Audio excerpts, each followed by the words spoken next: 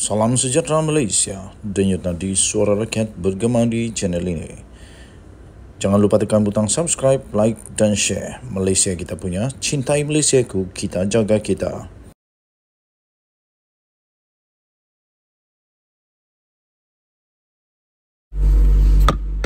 Salam sejahtera Malaysia, denyut nadi suara rakyat bergema di channel ini. Nampaknya AMB Kedah yang sangat celupar yang terkenal dengan kelantangannya sehingga menyebabkan beliau bukan saja lantang tapi kadang-kadang dah jadi terlalu celupar. Sudah kantoi tapi masih tak mengaku. Inilah inilah perangai-perangai mereka yang dah kantoi teruk tapi tak mengaku. Lepas tu berani pula cakap, saya tak tahu. Kalau tak tahu, kenapa tanda tangan? Hanya manusia yang tanda tangan secara membabi buta saja yang akan tanda tangan dokumen penting kerajaan. Macam mana Sanusi boleh jadi menteri besar yang tanda tangan sampai tak tapi tak tahu apa yang ditanda tangan? Masalah ni. Sanusi kata saya tak tahu. Apa yang dia tak tahu? Kan dia menteri besar. Menteri Besar Datuk Seri Muhammad Sanusi Madnor menegaskan beliau tidak mempunyai kuasa eksekutif kepada Perbadanan Menteri Besar MBI Kedah sehingga mengetahui seluruh perjalanan operasi projek. Jadi kalau dia tak tahu kenapa ada tanda tangan dia di dalam surat itu, itu saja soalan dia. Ini termasuklah kedudukan dua warga China yang dibawa masuk ke negara ini oleh MBI Kedah untuk melakukan kerja meneroka unsur nadir bumi REE di Bukit Enggang Sik seperti yang dipersoal Menteri Dalam Negeri Datuk Seri Saifuddin Nasution Ismail. Susah jugalah kalau ada projek begitu besar negeri punya tapi Menteri Besar tak tahu. Menteri Besar ini kata saya tidak tahu. Jadi kita nak tanya dia, apa yang kamu tahu? MBI itu separate entity iaitu badan yang berasingan. Saya pun tak ada kuasa eksekutif kepada MBI katanya. Dia ada akta. Ada artikel dalam enactment penubuhan MBI itu diasingkan daripada Menteri Besar. Hanya perkara-perkara yang dibawa kepada lembaga penasihat. Dia tidak ada lembaga pengarah. Dia ada panel penasihat. Saya tubuh panel penasihat itu untuk kita pantaulah jugalah apa-apa yang takut sensitif untuk dan pengurusan bawa kepada panel katanya. Jadi ini adakah dibawa kepada Sanusi? Takkan begini sensitif tak bawa kepada Sanusi. Maknanya kalau macam begitu Sanusi sedang menuding jari kepada pihak pengurusan yang telah membuat kesilapan itu dan dia tak tahu langsung. Nah, jadi nampaknya Sanusi mungkin dipergunakankah? Ah, soalan dia, dipergunakankah Sanusi ini oleh pihak pengurusan yang uh, Sanusi tak tahu banyak perkara, jadi semua orang kerana dia tak tahu sebanyak perkara, semua orang ambil kesempatankah kepada Sanusi? Ah, okey, beliau berkata demikian selepas menyampaikan geran dan lesen kependudukan sementara bagi daerah yang di Gua Cempedak pada hari ini. Mengulas lanjut, Muhammad Sanusi berkata, panel penasihat itu terdiri daripada beliau sendiri, setiausaha kerajaan negeri, penasihat undang-undang, pegawai kewangan negeri serta pengarah jabatan perhutanan dan pengarah tanah dan galian PTG. Sebelum ini, Saifuddin menyatakan mahu mengetahui daripada mulut Muhammad Sanusi sendiri tentang status dan keberadaan dua warga China iaitu So Loifat dan Huang Ziyi yang ditawarkan bekerja dengan MBI. Kata beliau, apa yang didedahkan itu hanyalah permulaan kepada siri pendedahan lain berhubung kecurian REE di negeri Kedah. Sementara itu Muhammad Sanusi berkata kenyataan Saifuddin itu seolah-olah mau melonggokkan apa saja kesalahan di atas kepalanya. Bukan mau longgokkan kesalahan kepada kepala kamu Sanusi. Tapi kamu yang tanda tangan itu surat. Macam mana? Kan? Cuba uh, cuma cubaan menteri itu Saifuddin saya tahu cubaan yang baik tapi gagal dialah duk menyamakan MB itu dengan MBI katanya ada percubaan untuk membina naratif yang apa saja kesalahan nak dilonggok atas kepala MB saya nak malas nak jawab pasal dia mengarut. Operasi sekecil-kecilnya suruh kita jawab. Saya mana tahu, saya jaga negeri, kita bukan jaga MBI katanya. Habis siapa yang jaga MBI? Kalau macam tu siapa yang jaga MBI? Kalau tiba-tiba MBI buat perkara yang tak betul, takkan Sanusi diam-diam saja. Ini dah terang-terang uh, ada yang telah dilakukan mungkin salah oleh MBI. Takkan Sanusi berdiam diri saja. Macam mana Sanusi nak jadi menteri besar sekali lagi kalau benda yang begini sensitif, begini besar, begini kecurian, kerugian kepada negeri Kedah, kepada rakyat negeri Kedah, tapi Sanusi tak tahu. Banyak lagi kah yang Sanusi tak tahu sebenarnya nih? Banyak lagi kah yang Sanusi nanti kalau tiba-tiba muncul keluar didedahkan Banyak lagi kah yang Sanusi akan jawab saya tak tahu Jadi apa yang Sanusi tahu? Ketua Menteri Sabah uh, Manusia biasa-biasa saja Tapi hampir semua perkara dia tahu Hampir semua perkara dia tahu Ketua Menteri-ketua Menteri yang lain Menteri besar-menteri besar yang lain Pun tahu banyak perkara tentang negeri dia. Terutama kalau perkara-perkara yang penting.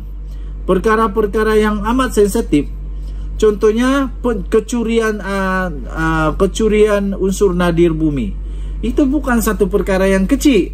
Ini membuatkan negeri rosak Negeri kerugian besar Dan rakyat pun akan mendapat kesan tempias yang besar Takkan Sanusi tak tahu tapi selamba aja, selamba aja Sanusi kata saya tak tahu. Itulah kita nak tanya saja, berapa banyak lagi yang Sanusi tak tahu? Berapa banyak lagi yang dia akan cakap dia tak tahu? Itu bukan bidang tugas dia. Habis bidang tugas MB apa? Dia kata bidang tugas MB ialah menjaga negeri. Bukankah MBI itu pun di bawah negeri? Habis kalau MBI itu bukan di bawah negeri, bukan di bawah jagaan dia, sebab dia kata saya mana tahu, saya jaga negeri, kita bukan jaga MBI. Kita nak tanya siapa yang jaga MBI? Siapa yang jaga MBI? Tapi surat itu tanda tangannya Sanusi. Sebab Tan Sri Azam Baki, Pesuruhjaya, Ketua Pesuruhjaya SPRM sendiri mendedahkan bahawa surat itu bertanda tangan Sanusi. Sebab itu Sanusi pun mungkin akan dipanggil untuk disiasat. Sebab yang tanda tangan Sanusi. Makin pening, tapi akhirnya saya percaya kebenaran pasti terbongkar juga. Dan kebenaran pasti bersama dengan orang yang benar. Macam mana nak belit macam mana sekalipun nak putar belit alam nak terbalikkan dunia ini pun kebenaran tetap kebenaran. Salah tetap salah betul tetap betul. Percayalah. Kita jumpa lagi. Salam sejahtera Malaysia. Selamat malam tuan-tuan dan puan bye bye salam sejahtera Malaysia jangan skip video ini kerana ada berita yang amat penting. Lagi bagus kalau anda boleh sharekan video ini supaya rakyat Malaysia tahu kebenaran dan supaya rakyat Malaysia dapat berjaga-jaga untuk tidak lagi membuat seperti yang dibuat oleh manusia-manusia yang tak sedar dibeli diberi uh, peluang oleh Tuhan untuk memerintah dengan kuasa akhirnya salah guna kuasa. Terbaru disahkan. Ha, ini disahkan. Seorang orang kanan Muhyiddin sendiri yang menjadi selalu menjadi apa orang harapan Muhyiddin di dalam bersatu dikenakan dakwaan di mahkamah beliau ialah Wan Saiful Wanjan dua tuduhan rasuah Wan Saiful itu dikekalkan dia kalah di mahkamah. Ingin saya maklumkan kepada semua rakyat Malaysia bahawa disahkan Wan Saiful Wanjan telah kalah di mahkamah untuk dua kes rasuahnya. Ah, Mahkamah Session telah menolak permohonan maknanya beliau kalah mentah-mentah. menolak permohonan bekas Ketua Penerangan Bersatu iaitu Dato' Wan Saiful Wan Jan untuk mengenepikan untuk membatalkan untuk mentiadakan tuduhan rasuah berjumlah 6.9 juta membabitkan projek Jana Wibawa. Makna kata beliau memang disahkan ada kes itu. Memang kes itu ada. Cuma saja sekarang pihak pendakwaan perlu dapat membuktikan perlu dapat menunjukkan bahawa memang Wan Saiful salah. Wan Saiful pula terpaksa selepas ini berhempas pulas turun naik mahkamah untuk membuktikan bahawa ya ada kes itu tapi dia tidak bersalah. Ha, hakim sendiri mengumumkan perkara itu. Hakim yang uh, bertanggungjawab diberikan amanah untuk mengadili kes ini adalah Rozina Ayub telah membuat keputusan itu selepas hakim yang arif lagi bijaksana ini mendengar hujahan tambahan yang telah dikemukakan oleh peguam bela Amir Hamzah Arshad dan timbalan pendakwa raya Rashida Murni Azmi dan Muhammad Afif Ali. Dengan itu disahkan bahawa pasukan pembelaan untuk Wan Saiful Wan Jan kalah teruk di mahkamah. Beliau berkata selepas meneliti hujahan kedua-dua belah pihak, permohonan pembelaan ditolak katanya ringkas. Nah, ringkas dan padat tapi betul-betul itulah keputusannya. Pasukan pembelaan untuk Wan Saiful Wan Jan kalah di mahkamah. Nah, sehubungan itu memang sah Wan Saiful Wan Jan ada peluang untuk masuk penjara, ada peluang untuk meringkuk di penjara, ada peluang untuk merasai nikmatnya hidup sebagai banduan di mahkamah kerana uh, salah guna kuasa, kerana banyak lagi lah pertuduhan. Dua pertuduhan yang dia dikenakan sebenarnya. Ada dua pertuduhan yang telah dikenakan kepada Wan Saiful Wan Jan. Okey, jadi ada kawan Saiful akan menikmati makanan penjara tak lama lagi. Saya sudah sampai di Dobi. Kita cuci kain dulu.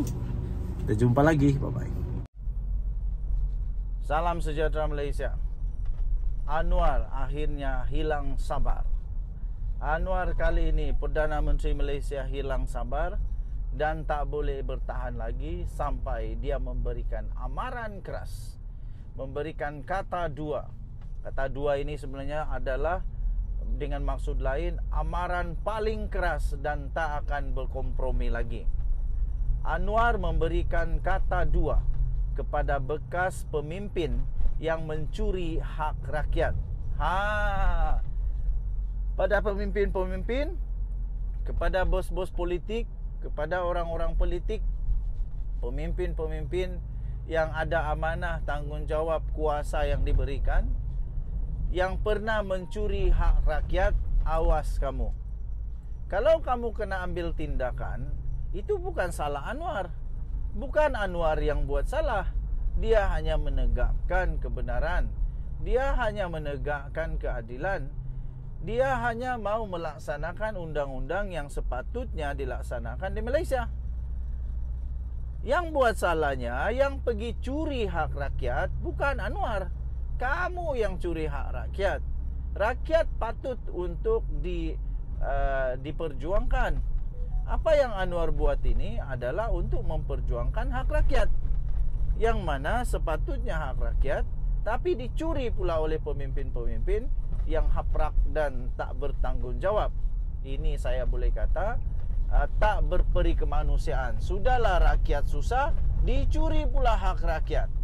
Perdana Menteri Datuk Seri Anwar Ibrahim memberi amaran dan kata dua kepada semua bekas pemimpin negara supaya menyerahkan semula segala harta yang didakwa telah dikumpul secara salah atau berdepan dengan siasatan pihak berkuasa padan muka.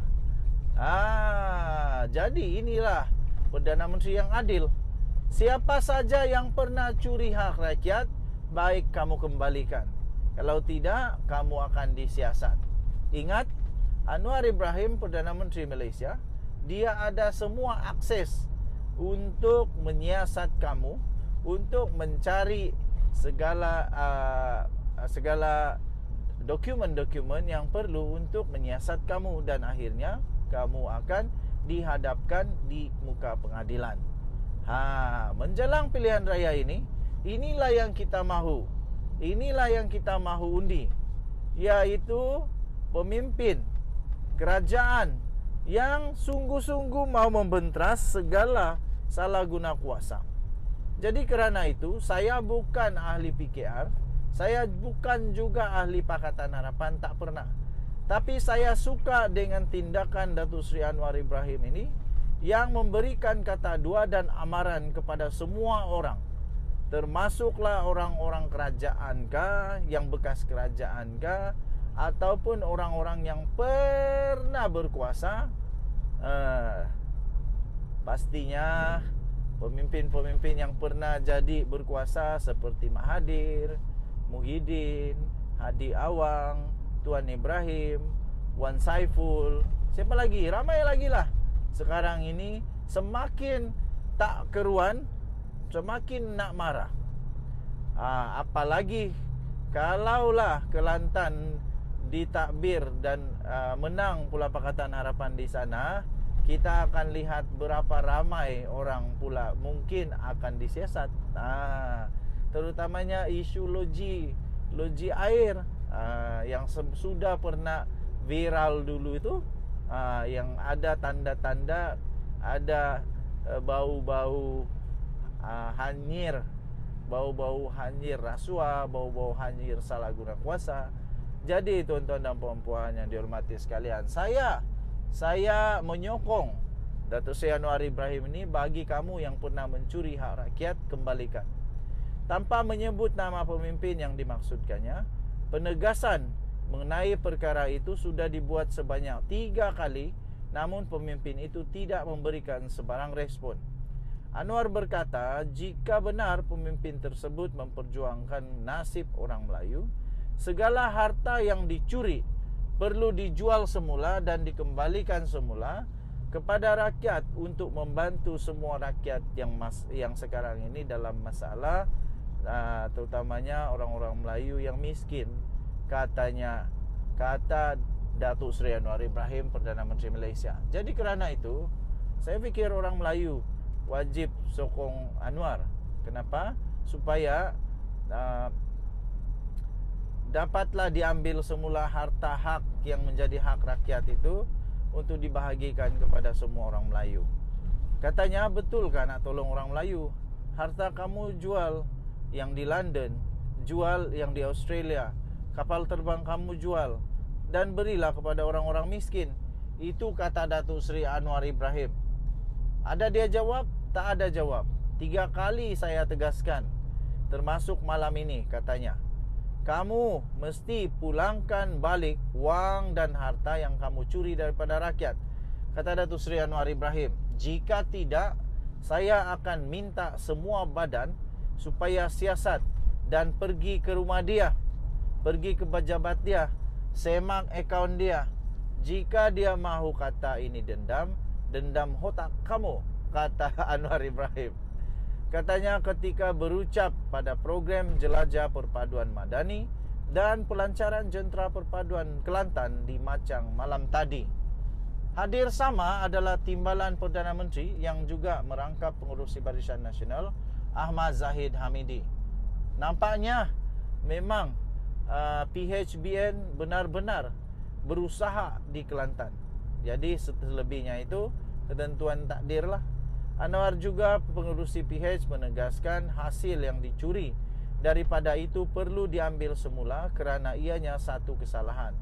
Tambahnya negara mempunyai undang-undang dan mereka yang didapati bersalah tetap bersalah. Apabila dia kena Apabila dia kena kata Anwar Ibrahim Dia katalah kita zalim Pendendamlah Menganiayalah Kita ada rancang Katanya Ada pemimpin yang buat bermasalah dengan raja, salah Anwar. Yang lapor ahli Dewan Raja, yang murka sultan. Yang tangkap polis, yang dakwa peguam negara. Tapi dia kata Anwar Ibrahim yang salah katanya lagi. Aduh, sampai kiamat pun tak boleh jawab lah yang ini. Katanya merujuk kepada kes membabitkan Menteri Besar sementara Kedah iaitu Muhammad Sanusi Madnor yang telah didakwa kerana di dalam akta hasutan. Okey, tahniah diucapkan. Denyut nadi suara rakyat bergema di channel ini. Jangan lupa untuk tekan butang subscribe, like dan share. Malaysia kita punya. Cintai Malaysia aku, kita jaga kita. Sentiasa menghormati undang-undang Malaysia, perlembagaan dan rukun negara Malaysia dijunjung tinggi selagi hayat di kandung badan selagi tanah pertiwi kita pijak itulah yang kita akan pertahankan selama-lamanya. Kita jumpa lagi. Uh, kita jalan-jalan di hospital. Bye